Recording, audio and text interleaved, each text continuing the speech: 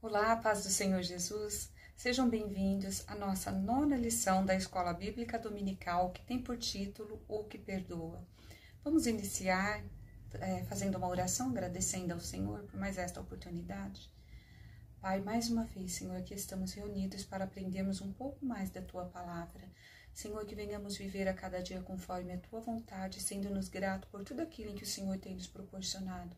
Seja, Senhor, sobre cada vida, cada lar, em nome do Senhor Jesus. Amém.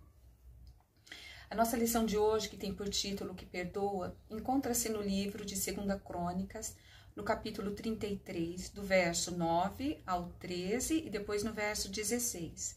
O nosso versículo-chave, a Bíblia diz, encontra-se em 1 João, no capítulo 1, no verso 9, que diz assim: Mas se confessarmos os nossos pecados a Deus, ele cumprirá a sua promessa e fará o que é correto.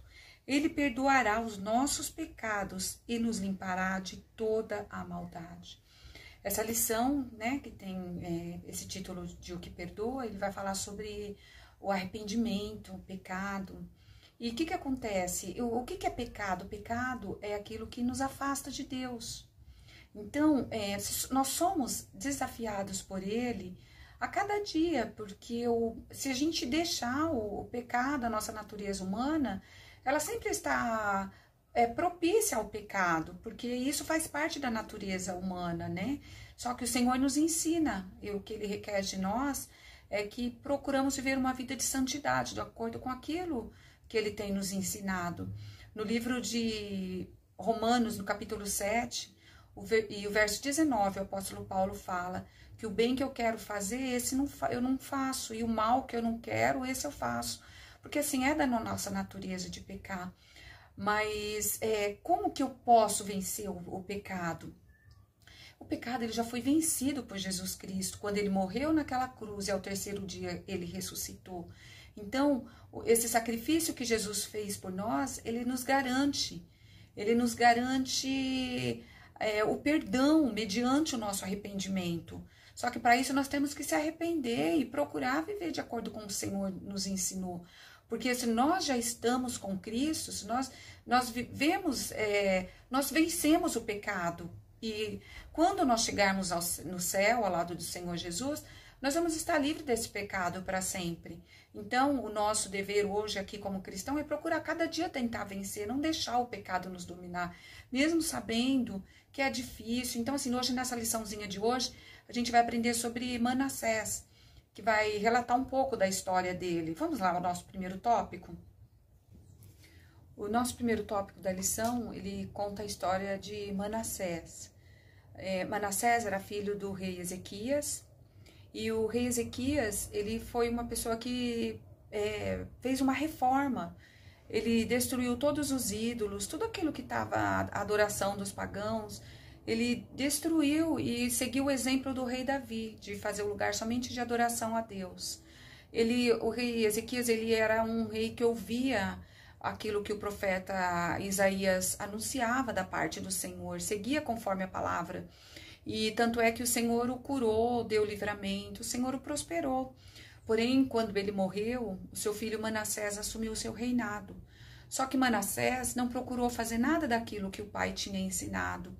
Ele, o seu reinado foi um reinado violento, foi de forma errada, porque ele começou a adorar aquilo, aquilo que aquele povo de Israel, que o Senhor havia expulsado da terra, o Senhor havia é, tirado, porque não se agradava do, do, da forma que eles adoravam, que era as estrelas, é, faziam cultos aos outros deuses.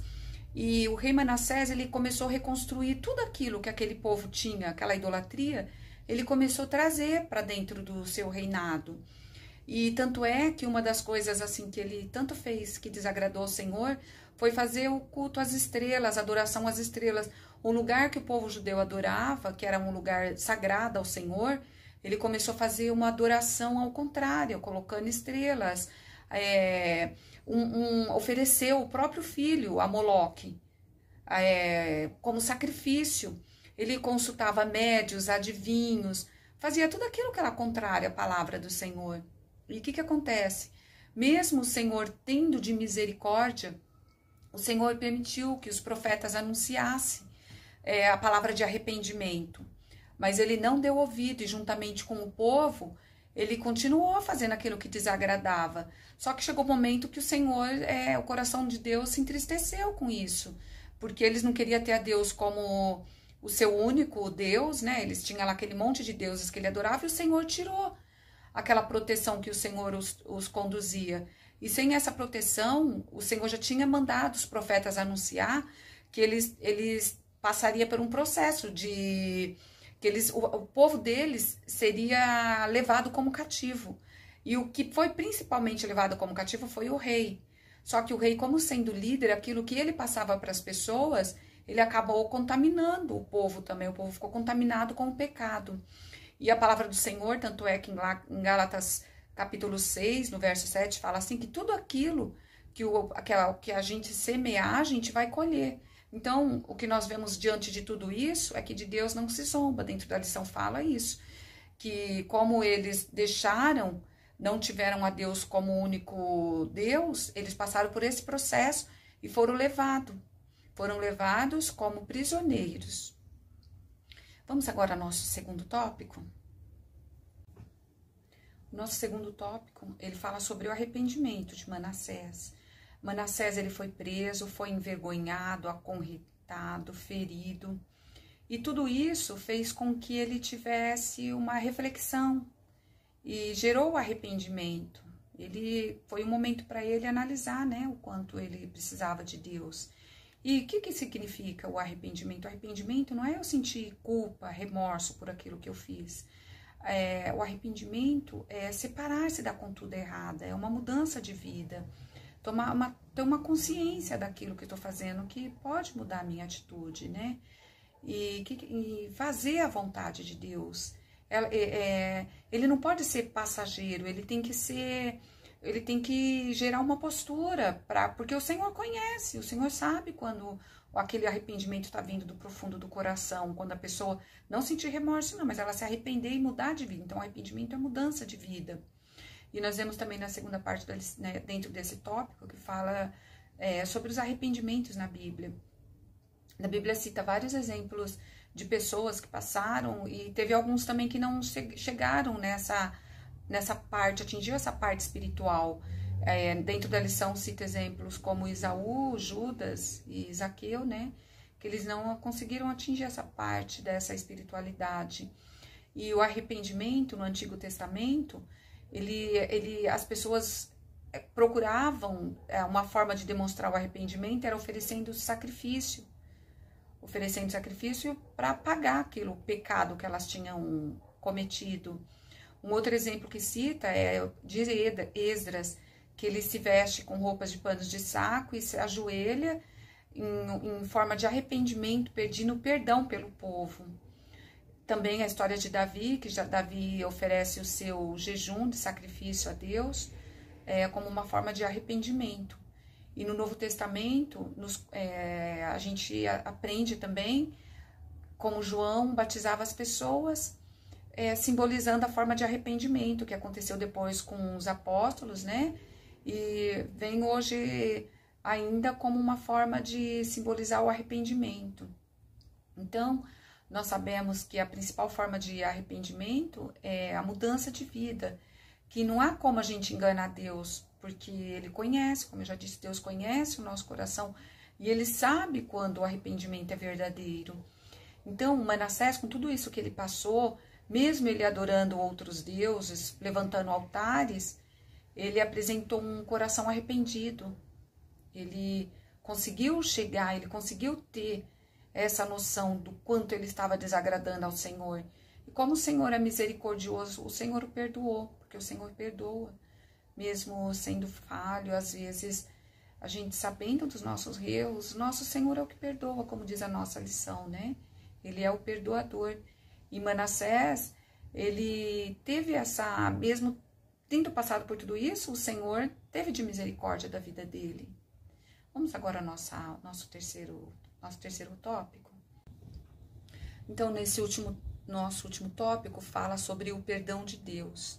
O perdão de Deus não é uma aprovação, uma tolerância com o pecado.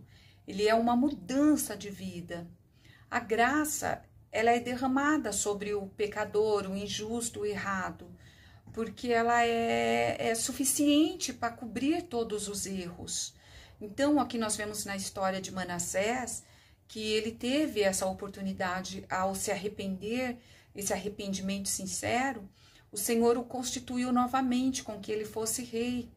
E ele soube aproveitar essa oportunidade, porque ao chegar, ele colocou, construiu muros para proteger os moradores né, da cidade. Ele é, construiu uma nova, um novo exército e ele destruiu os altares que ele tinha construído.